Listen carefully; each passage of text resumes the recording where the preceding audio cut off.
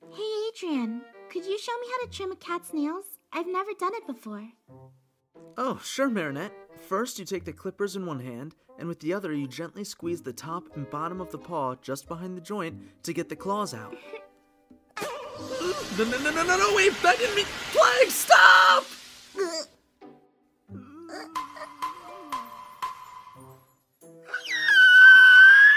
um, hi?